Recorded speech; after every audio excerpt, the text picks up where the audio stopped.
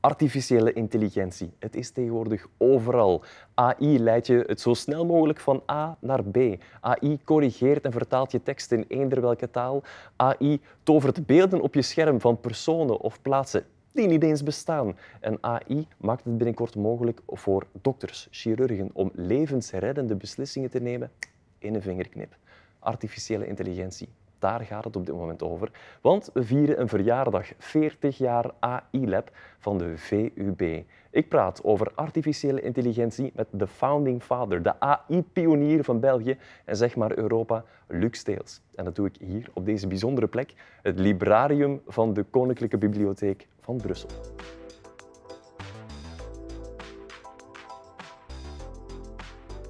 Luc Steels, welkom in het Librarium. Hoe voelt u zich? Ah, ik, prima. Ja? Ja. Ja, ja. We zijn natuurlijk volop bezig met hier een tentoonstelling op te bouwen, dus daar, daar komt altijd een beetje spanning bij. Ja. Goed. Gezonde spanning. Ja, ja. Ik heb uw Wikipedia-pagina even bekeken. Ik ga een kleine synopsis geven, want anders enkel die, die pagina voorlezen, dan zouden we hier morgen nog zitten. U studeerde taalkunde in Antwerpen, bent computerwetenschappen gaan studeren aan het Massachusetts Institute of Technology, bent hoogleraar informatica, ondertussen, ondertussen professor emeritus, richtte in 1983 het allereerste AI-lab in Europa op, in Brussel aan de VUB. Wordt daarom ook wel eens de ehm, AI, de geestelijke vader van de artificiële intelligentie in België en Europa genoemd, stichtte bovendien nog eens in 1996 het Sony Computer Science Lab in Parijs, schreef honderden artikels en eh, tientallen boeken over onder andere hoe robots met elkaar kunnen praten. En oh ja, ik zou het bijna vergeten, u componeert ook nog operas. Is het dat zo wat? Ja, dat is al goed. Ja. De list goes on. Hè. Mensen moeten maar zelf gaan ja. kijken op Wikipedia. Zeg, opera en artificiële intelligentie. Gaat dat goed samen? Is dat een match made in heaven? Want het lijkt een beetje raar. ja, het is misschien raar, maar ten eerste wordt eh, in de muziek op alle terreinen op dit moment heel veel AI gebruikt. Ja, ja, iedereen heeft eh, de Beatles eh, gehoord en zo, dat zo'n stem terug tot leven komt. Uh, maar ook voor synthese, voor compositie, voor mixing. Voor, uh, dus in dat vakgebied ook is de AI alomtegenwoordig. Um, maar die opera's, dat is eigenlijk vooral omdat de ethische implicaties en de, de, het effect op de maatschappij uh, toch wel heel belangrijk is. En dus die, die kwesties moeten gesteld worden. Ja, na natuurlijk, dat kan je paper schrijven hè, in een tijdschrift. Het duurt een paar jaar eer dat dat verschijnt. Ja, wie leest dat dan? Ja. Terwijl als je een opera doet en, en je doet dat dan in een, uh, de Muntschouwburg of zo, ja, dan, hè, dan kijkt er uh, voldoende volk naar om, uh, om de mensen te beginnen aan het denken te zetten. Dus die opera's die ik doe, dat is vooral om een ander kanaal te hebben om te communiceren. Om mensen te... op te voeden over wat artificiële intelligentie zou kunnen zijn of wat de mogelijkheden zijn? Wat opvoeden, dat, dat vind ik niet zo'n goed woord. Maar uh, zeker vragen stellen en zeggen van denk na. Uh, je moet niet alles denken wat, wat er over AI gezegd wordt. Uh, dat dat dus, ja, dat moet met een grote korrel zout genomen worden. Dat is dikwijls marketing van grote techbedrijven. Maar dus ook gewoon, uh, dat vind ik misschien ook wel even belangrijk, dat is dat voor mij is AI een wetenschap. Dat is een manier om te denken over onszelf Mhm. en over onze relatie tot anderen en zo. Dus in die zin, uh, ja, vind ik dat ook belangrijk om, om dat aspect naar voren te brengen. Laat ons even terugkeren in de tijd. Hm. 1983, toen richtte u aan de VUB dat labo op voor artificiële intelligentie. Toen zei u van we gaan ons hier in Brussel specialiseren, we gaan ons daarin verdiepen in wat dat kan, die technologie, de wetenschap daarachter. Ja. Maar daar zit ook nog een stukje voor. Jaren 70 ergens. Wanneer bent u zich echt gaan interesseren in, in die artificiële intelligentie? Wel, ik was uh, student taalkunde. Dus vandaar ook mijn interesse voor theater bijvoorbeeld, opera en zo. Dat ik was van plan om daarin verder te gaan. En dus ik weet nog altijd niet of dat het een goede beslissing was om, om verder te gaan in die technologie en zo wetenschap. Wel, ze zijn alle twee boeiend. Ehm, en zeer toevallig, want ja, in de taal- en letterkunde, daar is geen cursus computer natuurlijk, trouwens. Op de, in Antwerpen. Dat komt later. Ja. Nu al een beetje, maar in Antwerpen was er zelfs geen computer. Dus op de UA in eh, Wilrijk, we waren de eerste generatie studenten. Dus niemand had computers. Dat, dat is misschien nu moeilijk voor te stellen, maar... eh, en dan, toevallig ben ik eigenlijk eh, zo'n cursus gaan volgen, uit nieuwsgierigheid. Want ik denk dat is een van mijn grote problemen. Dat is een, een ja, overdreven nieuwsgierigheid. Tomeloze Ja, tomeloos, dat is, het, dat is de, de vloek van mijn leven, Ja. is om in veel te veel geïnteresseerd te zijn. Want we Dus- zitten dan op dat moment in de jaren 70. Ja, ja. Amper computers. Microsoft en Apple Bestonden begonnen eigenlijk in, in midden jaren 70. Ja. Ehm. Maar, maar ja, hoe, hoe verder nog? Ah, wel, ja, dus dan- dan- toen? Want toevallig die, die computer. En dan was daar wel iemand die, eh, die enkele uren gaf over wat mensen, sommige mensen op MIT, op Stanford, eh, aan het doen waren met computers in relatie tot taal. En dus dan heb ik zo de klik gemaakt en ik ben gefascineerd geraakt. Eh, ja, gefascineerd of geobsedeerd, mogen we wel zeggen. En dus ik dacht van, ja, dat, dat is hier iets ongelooflijks. er was effectief een tipping point. Ja, dat, is, dat was een ja, epifanie, zoals men zegt. Hè. Een, moment van, wauw, wat is dat hier? Natuurlijk in mijn omgeving toen, eh, zelfs degenen die al iets wisten van computers, die dachten, maar computers en taal, dat, computers is om te rekenen. En, en de wiskundigen en natuurkundigen, die, zou ik zeggen, die overheersten computers op dat moment. Dus was eigenlijk allemaal maagdelijk terrein. Wat was trouwens een computer op dat moment? Dat is niet wat dat wij nu kennen, toch? Nee, nee, nee. Dus zeker eh, niet interactief. Na een tijd hadden we dan een computer voor mijn doctoraatswerk. en dat ging dan met ponskaarten. Dus dat is zo'n groot machine. En moest je dan zo gaatjes maken in van die kaarten. En dat was toen de Ik zie de productiecrew kijken, die weten niet wat Die weten dat niet wat dat allemaal is, maar goed. Maar dan ben ik naar MIT gegaan. Dat is ook al een heel verhaal hoe ik daar terecht kwam. Ehm, en dan gaat... Dat was een sprong in de tijd. Vooruit nemen. Vooruit, ja. Twintig jaar vooruit. Dus, want daar was al e-mail, eh, netwerking, internet. Eh wij hadden al eh, computers met een scherm, die heel hard lijken op wat er vandaag is. Dat werd daar allemaal toen gemaakt. Dus het is nog altijd voordat Apple bestond en zo, ongeveer tien jaar nog daarvoor. Eh, je moet je ook inbeelden dat in eh, informatica nog niet bestond op de universiteiten. Dus de VUB was de eerste, zeer vooruitziend, om een, eh, de discipline informatica te beginnen. Nu, op dit moment hebben we ChatGPT. Eh, we hebben alles wat deepfake is, daar komen we straks nog even op terug. Maar wat betekent de artificiële intelligentie in de dagen dat u ermee begon? Jaren 70, Ja. jaren 80? Ja. Wel, het, het was, eh, zou ik zeggen, het was echt fundamenteel onderzoek. Dus de mensen die dat deden, die waren in feite niet bezig met toepassingen. Of met producten, of... Wat is eh, het verschil? Onderzoek, toepassingen? Wel ja, dus, dus fundamentele vragen over hoe werkt intelligentie, hoe werkt taal, hoe ontstaat taal, wat is betekenis, eh, enzovoort. Dus allemaal vragen over de mens in feite. En dus in die zin was dat voor mij een logische verderzetting van eh, taal, letterkunde, filosofie, antropologie. Maar ja, wel met die methode om dingen te bouwen en dan te zien, als je een idee hebt, werkt dat. En dat was eigenlijk voor mij de, de klik al in de jaren 70 begin. Eh, voor, voor taal dan, de analyse van taal. Je bedenkt iets, je denkt, ja, dat zal wel zo zijn.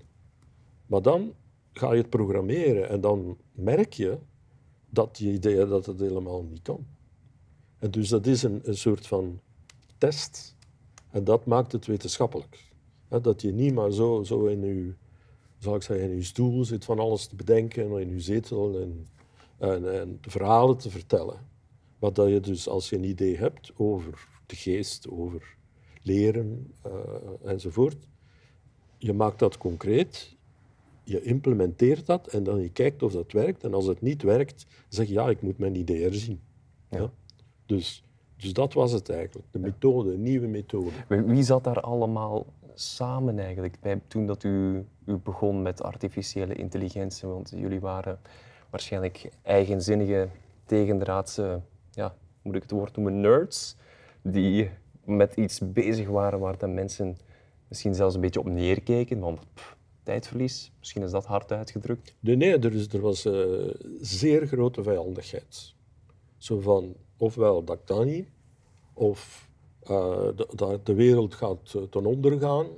Dat hoor je nog altijd. enzovoort. Dus een, een, grote vijandigheid. En dus ook geen, zal ik zeggen, geen geld natuurlijk. Hè? Want het, het is een gevecht voor het geld altijd. Dus het is heel moeilijk in die tijd, en ja, ook als ik terugkwam naar België dan, om de middelen te vinden om dat te doen. Mm.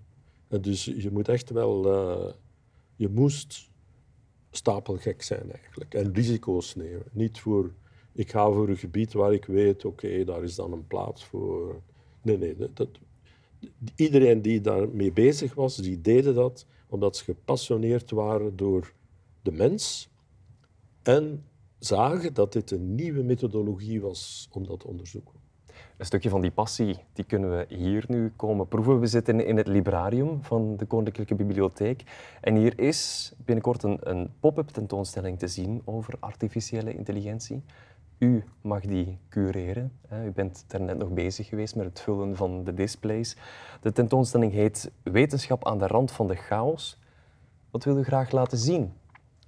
We gaan terug naar de jaren 80, de jaren 90.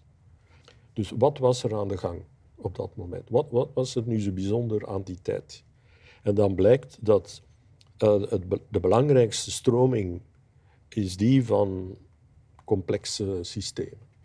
En één aspect daarvan dat is het, het voorkomen van chaos in die systemen. Ja. Nu, chaos is niet wanorde. Chaos is een bepaald soort van orde eigenlijk, of een orde scheppend systeem.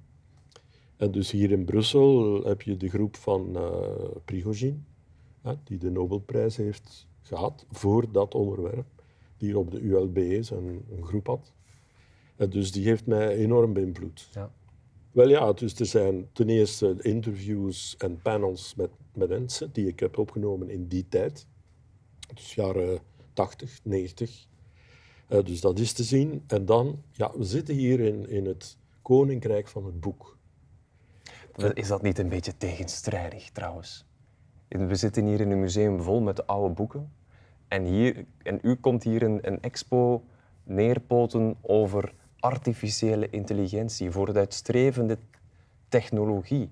Botsen die twee niet met elkaar? nee, helemaal niet, want opnieuw, ik wil de wetenschap benadrukken. Dus, en dus het boek heeft altijd een enorm grote rol gespeeld in het, ja, het concipiëren van de wetenschap, in het doorgeven van de wetenschap.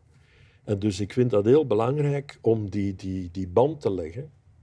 Ik denk dat we in de jaren negentig echt wel leidinggevend waren voor dat soort van uh, AI, zal ik maar zeggen. Mm. Uh, de, in de periode jaren tachtig was er zo meer een, men noemt dat kennisgebaseerde AI. Dus dan ging het meer over uh, denken. Terwijl in de jaren 90 ging het dan meer over handelen. Het zijn in de wereld. Dus perceptie, beweging. Uh, en dus ja. In 1983 hebt u aan de VUB dat Labo voor Artificiële Intelligentie opgericht. Dat is ondertussen 40 jaar geleden. Proficiat trouwens. Ja. Dat is een mooie, mooie verjaardag.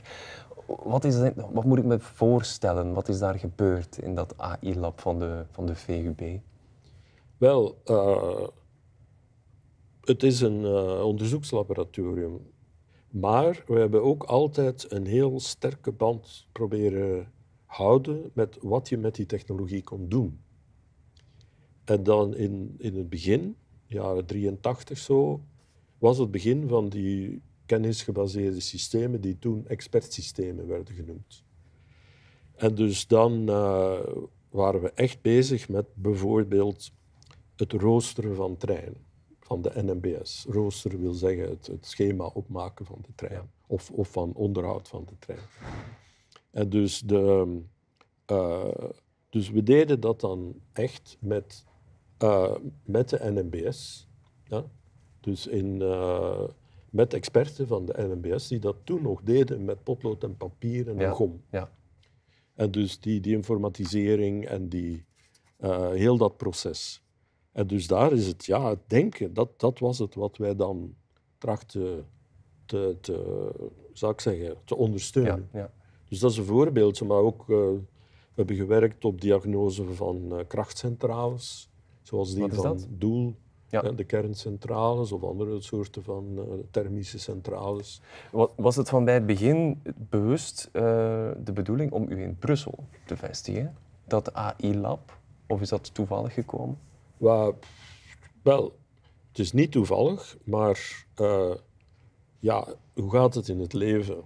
Ik bedoel, er gebeuren toevalligheden en dan ga je daarop in of niet. Maar dus ik zat in Amerika en dan op de VUB werd de eerste richting informatica opgericht. Dus ja, AI zit daar een heel eind voorbij, maar eerst moesten we nog informatica van de grond krijgen. Dus ik heb ook mee samen met Theodont het, het departement computerwetenschappen opgericht. Dus dat moest ook allemaal. Omdat het nodig was om die AI-poot. Ja, omdat het een, op dat moment nog veel meer een deel was eigenlijk van, van uh, AI en computerwetenschappen. Dat liep Ja. nou samen. Maar, dus ik bedoel, het is altijd geweest, hè, we, we, we zijn geïnteresseerd, de meeste van de mensen die er werken, die komen uit allerlei richtingen, dat moet ik misschien ook zeggen. Dus het is heel Multidisciplinair. multidisciplinair. Dus dat wil zeggen, er zijn natuurlijk wiskundigen bij, eh, fysici, ingenieurs, eh, natuurkundigen. Well, dat zijn de fysici. Maar er zitten evengoed taalkundigen, eh, van alles. Er zijn ook kunstenaars die erin zaten. Dus ik, ik probeer altijd die band te behouden nog met ehm, het artistieke, gewoon als manier ook om de geest te verruimen van onderzoekers. Eh, want je, je zegt daar een nerd, maar eh, dat is het grote gevaar van, van zo te worden. En dus een antidoot is, is om, eh, om het artistiek, dus om Ja, kunstenaars als- als in het laboratorium. Ja, ja, om, om mee dat, zou ik zeggen, een sfeer te creëren waarin creativiteit overheerst. Mhm. Is er iets in die 40 jaar AI-lab aan de VUB waar u in het bijzonder trots op bent? Een onderzoek, een verwezenlijking? Ja, Dat één is kill your darlings. Het is een oneerbiedige vraag, maar ik stel ja, hem ja. toch. Ehm, wel, we, we moeten ze niet eh, afslachten. Ehm, nee, ik vind ten eerste dat, dat eh, het eh, domein van de artificiële intelligentie, dus daar zit ik dus al 40 jaar, wel langer, Langer, 50 ja. jaar Ja. in, eh, dat is boeiend van, van de eerste stap tot nu. Boeiend in de zin van, als je denkt van ja, nu, nu verloopt het hier een beetje langzamer, dan plotseling gebeurt er, er iets, weer iets. En dat is nu bijvoorbeeld ChatGPT. Hm. Zeg ja, natuurlijk, ChatGPT, dat zagen wij al aankomen twee decennia geleden, maar het is het feit dat nu dan, het is een beetje zoals een paddenstoel die ineens uit de grond komt. Ja. Dus, eh, dus dat is al een eerste punt dat telkens, eh, ja, en, en hetgeen dat mij het meest eh, plezier geeft, als ik het zo mag zeggen, dat is ten eerste een experiment dat dan werkt, soms na maanden of jaren daarop werken. Hè, dat ziet er allemaal speels en gemakkelijk uit, maar het is veel werk en zoeken en dan werkt het. En zo zijn er een heleboel eigenlijk. Maar het, ik, ik denk ook, ehm, een ander ding is ook, als dan een student eh, een voordracht geeft op een conferentie of wat dan ook, of een artikel geschreven heeft, dan, dan zeg je ja. Eh, daar ben ik, eh, hoe zou ik zeggen, dat, dat geeft mij ook Dan glundert u van trots in het publiek. ja, ja, glunderen, maar ook van oké, het was het waard. Bloed, zweet en tranen. Ik zie ze nu van uw gezicht rollen. Even naar die, die, die heel concrete toepassingen die we nu op dit moment kennen. U hebt het zelf ook al aangehaald. Ehm, ChatGPT bijvoorbeeld, daar kent het grote publiek tegenwoordig artificiële intelligentie van. Teksten vertalen, beelden genereren. Hè. Marketeers brachten onlangs oud-politicus Jean-Luc Dehane weer tot leven in het kader van een verkiezingscampagne. Hè. Deepfake. Beelden heet dat dan. Eh, ik heb aan ChatGPT ooit eens gevraagd om een artikel te herschrijven om te gebruiken op LinkedIn, inclusief emoticons. En die doet dat dan. Dat is fantastisch. Welke technologieën, welke toepassingen van AI gebruikt u zelf? Eh, wel, dus ik gebruik geen ChatGPT. Waarom? Wel, omdat, dat zal u ondertussen ook wel al opgevallen zijn, dat eh, als je het echt wil gebruiken om een tekst te schrijven of een antwoord te vinden op een vraag, ja, dan moet je wel zeer goed uit je ogen kijken. Omdat er, het is inherent aan die technologie dat er wat men noemt hallucinaties gebeuren. Dat wil zeggen, feiten worden met veel brio eh, verkocht, zal ik maar zeggen, die niet waar zijn die fantasie zijn. Gef, eh, gefabuleerd, hoe zegt men dat? Ehm, en ja, we kunnen erover hebben waarom dat, dat zo is. Maar eh, dus het feit is dat die ChatGPT of die andere systemen, DALI enzovoort, wat er eigenlijk aan de gang is, is dat er een enorm statistisch apparaat is dat in enorm veel data patronen heeft gezocht. En de patronen bij ChatGPT, dat is dan vooral als je een zin begint, hè, dan hoe gaat die verder? Hier of daar ergens in een tekst. het, is- het gaat echt over ongelooflijk veel, veel teksten. Dus als je zegt van, eh, ik weet niet wat, eh, ik ben vorige week eh, positief getest, is niet waar hoor, maar ik ben vorige week positief ge- getest voor, ja, Dan zal ChatGPT ergens wel COVID Covid halen. zeggen. Ja. Wel, het is dan ook de vraag, want ze, ze hebben maar data tot op een bepaald moment. Hè. Maar eens dat die data er is, dan komt er zeker COVID uit. Maar als je zegt, ja, mijn, mijn vriendin is... eh, oh, niet mijn vriendin, maar ik heb een vriendin, die is op huwelijksreis gegaan. Ze kwamen pas terug en zij is al positief getest voor... Malaria. Wel, oké. Eh, u vult zelf maar in. Maar zie je wat, wat ik bedoel? Ehm, Nee, ik zie niet wat u bedoelt. Nee. nee, nee, maar ik dacht een zwangerschap. Ah, oké, ah ja. Maar de, de, ehm, eh, wat ik bedoel is dat dat systeem heeft geen betekenis. Betekenis zit er niet in. Het lijkt zo. Hè, het is zo goed dat je denkt, ja, dat kan er alleen maar uitkomen als dat systeem Ja. weet waar dat het over heeft. Maar dat is dus niet zo. Dus u gaat nooit in uw leven ChatGPT gebruiken? Eh, nee. Wat dan wel? Wat- Ja, maar als je op Google zoekt bijvoorbeeld, Ja. hè, want dat gebruik ik wel. Dus je zoekt op Google en dan... Google geeft je niet, tot nu toe, niet het antwoord, maar zegt van ja, dat en dat is potentieel relevant om het antwoord te vinden. Dat zonder dat Google claimt van ik ben superintelligent en ik weet niet wat nog. Dus dat is een informatiesysteem. Er zit enorm veel AI achter. Dat dateert dus van de jaren 80 ook eigenlijk, 90. Eh, wel 90 in feite. Ehm, en ja, dat gebruik ik wel. Of ook voor vertaling bijvoorbeeld. Ik had een spannender antwoord verwacht dan ik gebruik Google van een professor in de artificiële intelligentie.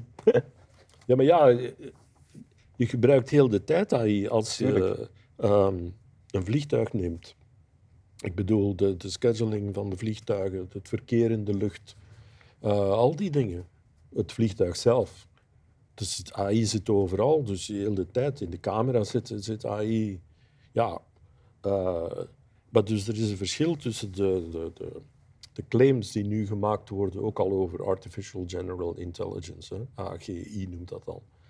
Die, die claims zijn volgens mij totaal uit den boze.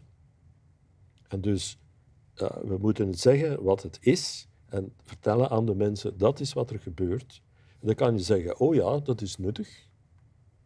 Dus soms als je een tekst hebt of zo en, en je wil die tekst of je wil ideeën genereren voor een tekst, maar niet die tekst zelf, ook bij vertaling.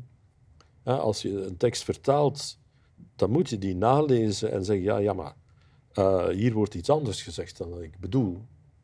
En de, de voorbeelden daarvan zijn legio. Mhm. Ook al omdat die vertaalsystemen ook al niets van de betekenis weten. Dus zie je, de, de, de, de, uh, noemt dat de glazen plafond van, van, die techno, van die technologie, die AI-technologie, want er zijn er veel, dat ligt juist in het feit dat het niet die betekenis kan meenemen in wat het ook doet. Voor de betekenis hebben we nog altijd een mens nodig? Maar ja, op dit moment zeker. Ja. Nu, we kunnen dichter en dichter komen, maar de, de, de betekenis is essentieel voor de menselijke intelligentie. De toepassingen, hè, dat, die het grote publiek dan kent van AI, die die u nog net hebt opgestomd, um, daarover, daarvan kennen we de, ehm, uw, uw onderzoeksdomein. Nu, u bent een groot pleitbezorger voor aandacht en erkenning van de wetenschap achter die toepassingen. artificiële intelligentie als wetenschap aan zich, naast biologie, naast fysica, naast chemie. zijn we al dichter bij de erkenning die, die u wenst voor artificiële intelligentie als wetenschap? En, en waarom hamert u daar zo op? Wel, voor twee redenen. Misschien drie zelfs.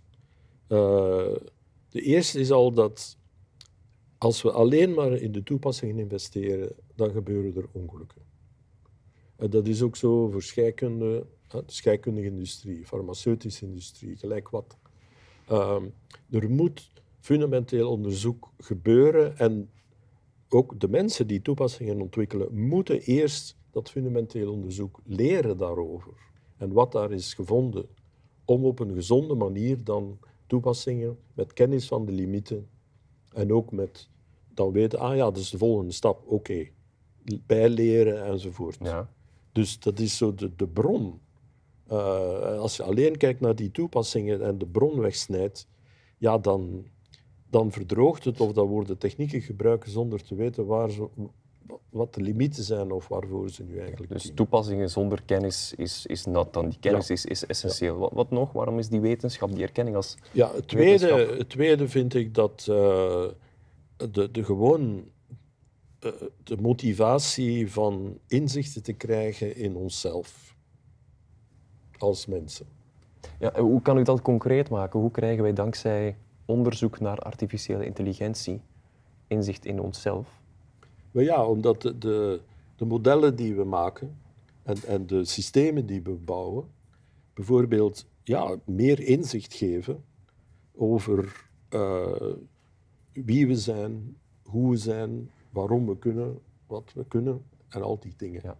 En, Gaat het dan over leren leren bijvoorbeeld? Over leren bijvoorbeeld. Hè. Hoe leren wij? Hoe schrijven wij teksten? Wel, wij, dat zijn modellen die gemaakt worden en dan, dan kunnen we zeggen, ja, dat is zoals, uh, een voorbeeldje is een pomp. En het hart. Uh, vroeger, het hart, uh, hadden geen idee, want ze dachten dat het hart denkt. Hè? Dat niet het brein denkt, maar het hart. Ik spreek nu over de 12e eeuw of zo.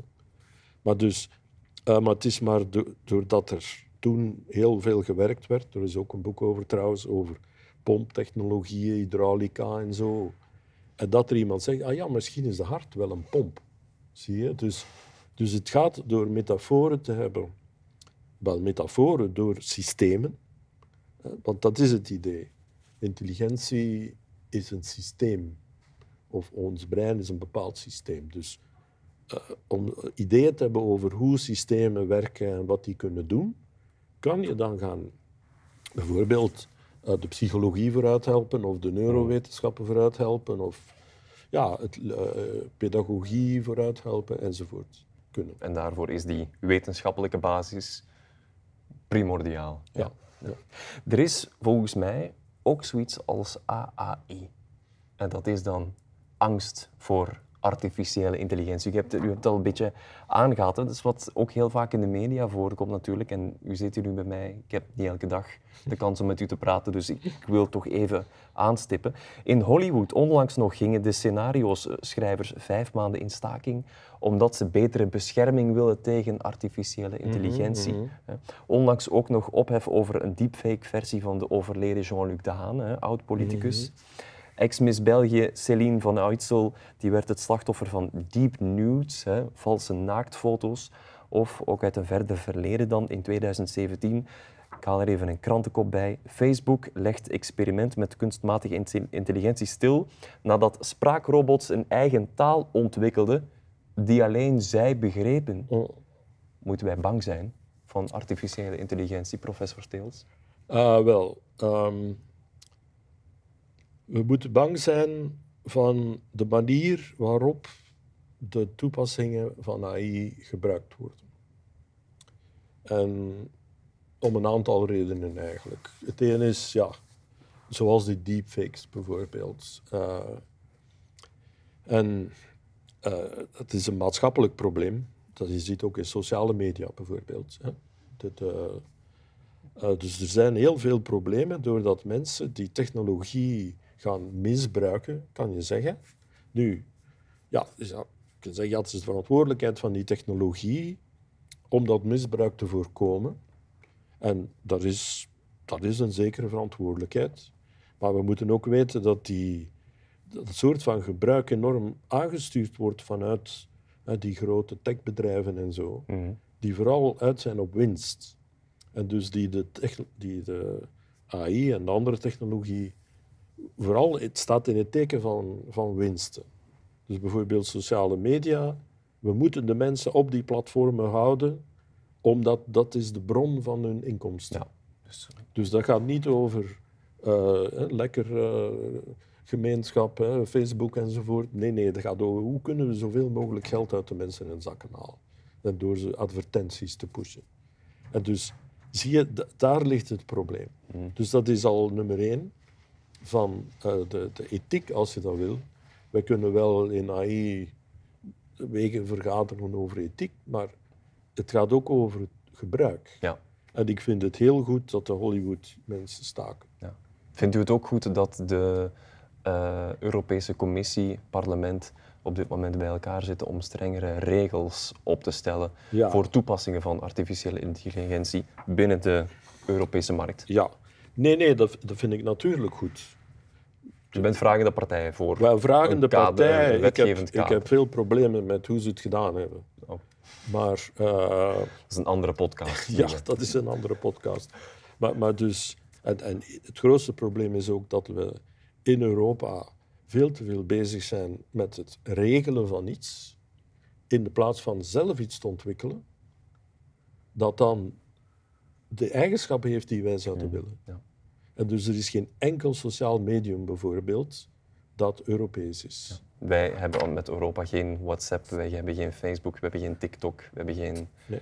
Vindt u een gat in de markt? We hebben ook geen. Waar wacht u eh, nog op, Generatieve. Ah ja, eh, dat is weer een andere podcast. Is, is de, de, de, de strijd, mag je wel zeggen, discussie heel de tijd met, met industrie, mensen. En vooral ook financierders, hè, want het draait altijd om geld. Maar dat, dat is een ander verhaal. Maar, eh, maar dat vind ik wel. Maar ik, ik wou nog iets anders zeggen over ehm, bang zijn. Hè. We, komen Ja. terug op het bang Ja, zijn. de AAI, angst voor artificiële intelligentie. angst. Dus, dus het is zo en daar, daar moet werkelijk echt iets aan gebeuren. Eh, Ook onder andere door wetgeving enzovoort. Ik vind het bijvoorbeeld ook heel goed dat eh, er was een eh, journalist, wel een, een, een eh, krant, Sports Illustrated denk ik, die begon artikels te publiceren gemaakt door AI als een deel van hun krant. De journalisten zijn in opstand gekomen daartegen.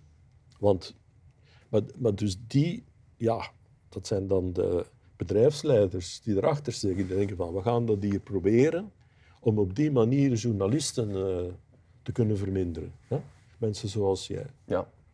En dus niet alleen werden ze dan ontdekt, en niet alleen doordat ze ChatGPT gebruikten allerlei fouten in, hun, eh, in die artikels, Maar dus ook ondertussen zijn die, die, eh, degenen die aan het hoofd stonden van die bedrijven, voor gisteren is dat gebeurd, die zijn dus ontslagen door de raad van bestuur van dat bedrijf. Omdat ze eigenlijk heel hun bedrijf, de reputatie van hun bedrijf, helemaal naar de knoppen hebben geholpen. En dat vind ik dus goed in de zin van, er moeten voorbeelden komen van... eh, van, van Bad practices, hoe het ja, niet moet. bad practices. Dat, is- dat, het. En dat moet zo gebeuren. Dus Eh, we, we moeten, kan ook voorbeelden ja, geven. we, we, we moeten tegen de lamp lopen. Het gaat net vallen en opstaan Het zal gebeuren. net hoor ik vallen en opstaan, maar de, de normale mechanismen, dus ook van die deepfakes, hè, de normale wetgevende functies en zo, die moeten in actie komen daartegen. En Oké, dat, is, dat is één. Maar er was een tweede ding dat ik was, hè, van het bang zijn. Ja, ja. Altijd op het Nog altijd AAI. nog altijd AI. Dat is ook dat mensen veel te veel vertrouwen hebben in technologie. In het algemeen en in AI in het bijzonder. Ja. Dus Wat dat, bedoelt u? wel, dat, Algemeen, eh, eh, artificiële intelligentie maakt ons dommer. ja. Dus dat, dat we zeggen, een, een klein voorbeeldje is eh, Google Maps. Hè? Dus ja, na een tijd kunnen de mensen geen kaarten meer lezen. Ja. Of, of zelfstandig rondgaan in Brussel. What's next? Wel ja, maar dat is dus ook iets waar wij onszelf moeten tegen verzetten. En dus eh, bijvoorbeeld ook in het onderwijs. Zo niet van, ja, kinderen moeten geen, niet meer opstellen leren schrijven, want ja, ChatGPT schrijft al op. U vreest dat we niet meer gaan kunnen schrijven. We verliezen onze zelfstandigheid Ja, door te veel te vertrouwen in... ja, door te veel te vertrouwen en dus niet onze eigen cognitieve capaciteiten te oefenen, te ontwikkelen, of mensen ook de kans geven om die te... Ja. Dus voor muziek, als ik dat nog even mag zeggen, als, als de muziek gemaakt wordt door eh, computerprogramma's stijl ChatGPT, en er is dus al 30% ongeveer in de markt nu die zo gemaakt wordt, hoe zit het dan met de muzikanten, de menselijke muzikanten? Die hebben, die hebben minder en minder middelen. En dus die mensen hebben minder en minder kansen om zich te ontplooien, nieuwe dingen te maken, nieuwe dingen te ontdekken. Dus dat is voor mij het tweede, Mm. tweede punt. We hebben 40 jaar teruggekeken in de tijd, meneer Steels, naar het prille begin, jaren 70, 80, 90. Ehm, laat ons ook nog even, nu dat ik u toch nog bij me heb, vooruitkijken in de tijd, als het Ja. dan over, over arti- artificiële intelligentie gaat. Waar staan we? Ja, doet, u, ik, u bent even toekomstvoorspeller over vijf jaar, tien jaar, twintig jaar. Wat gaan we dan zeer aannemelijk vinden? Wat, welke technologie zit eraan te komen? Wat, zijn dan, wat, is, wat zal er dan mogelijk zijn? Dat nu nog Maar, niet kan? eh, aan de ene kant denk ik moeten we, ehm, moeten we het ook altijd hebben, gaat het over de technologie of over de wetenschap. Hè? Dus, eh, U dus- zal de wetenschap belangrijker Ja, vinden ja, en ik de belangrijker technologie vinden. als... Wel, oké, maar, maar ik denk dat er wetenschappelijk nog enorm veel eh, ontdekt moet worden. Onder andere ook omdat we eigenlijk nog bijna niets verstaan over hoe ons eigen brein werkt. En dus die kloof tussen de modellen die we nu hebben, het is al enorm vooruit gegaan, maar de, de, de, waar we nog naar moeten naartoe gaan, die is nog enorm. Dus dat is al een voorbeeld van, het is een beetje scratch the surface. Dus de- Een beter begrip van onze eigen... ja, hersenen. Dus, dus het dat begrijpen, maar, ook van de, de, de psychologie, zal ik zeggen. Om maar een voorbeeldje te geven. AI heeft zich heel veel bezig gehouden met rationele redeneringen en zo. Problem solving. Hè? Problemen oplossen. Eh, zoals eh, treinen, schedulen enzovoort. Oké, goed. Maar de mens, er zit zoveel meer in, onder andere emotie. En dus de, de emotie, dat is niet cognitief eigenlijk. Dat, is, zit in ons lichaam ook. Als we bang zijn of, of eh, verliefd worden of zo. Dat is niet alleen maar ja, eh, ideeën, dat is ook gevoelens en zo. Ik zeg niet dat AI dat moet gaan simuleren, maar gewoon om te zeggen dat soort van dingen. De mens is zoveel rijker dan dat we nu tot hiertoe al hebben bekeken. Mhm. Kijkt u uit naar wat er komt en doet u dat van de zijlijn dan? Of staat u nog met de twee voeten in de artificiële modder? Uh, ik sta nog met mijn twee voeten, misschien wel tot mijn midden in de modder. Ja, vertelt u maar, op, dit moment, op welk moment, waar bent u nu mee bezig?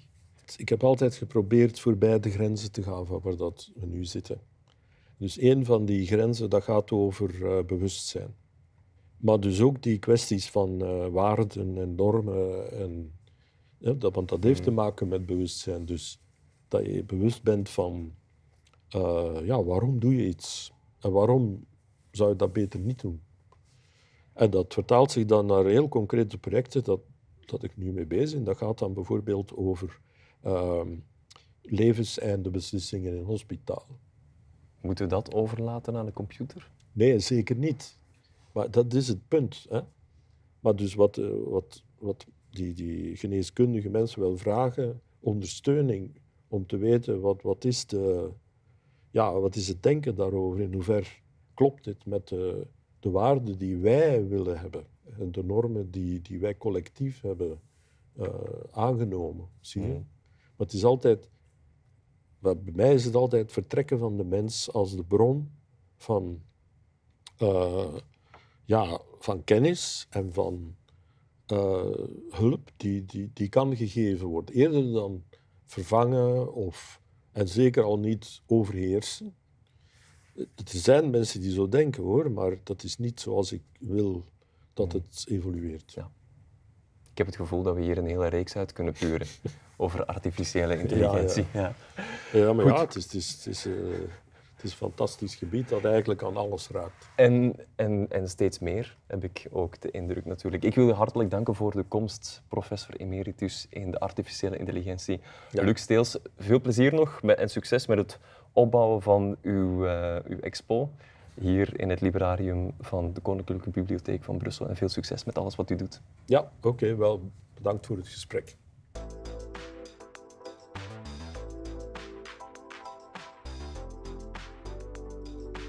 Wat ik heb onthouden van de podcast is dat um, wel, mijn AAI, mijn angst voor artificiële intelligentie, is wel een beetje geslonken. Zolang dat, zoals uh, meneer Steels benadrukte, dat we de controle blijven behouden. Artificiële intelligentie is er om mensen te helpen. Uh, en we zijn nog heel ver van, van de limiet. We zijn eigenlijk nog pas begonnen uh, met de uitbouw en de implementatie van artificiële intelligentie. Maar het is een samengaan de mens moet zeker nooit de controle verliezen. Dat heeft Luc Steels heel erg duidelijk gemaakt en dat is ook, ook iets dat ik um, ga onthouden. En wat ik zeker ook meeneem, is dat het sowieso een proces gaat zijn met vallen en opstaan. Er moeten fouten gebeuren en daar moeten we gewoon uit leren. Dit is de processie van echternacht. Het is twee artificiële stappen naar voren en dan één intelligente stap terug. En dan even kijken van, zijn we hier eigenlijk wel goed bezig? En de volgende keer dat ik een sollicitatiebrief laat schrijven door ChatGPT, ga ik die wel een keer of drie nalezen.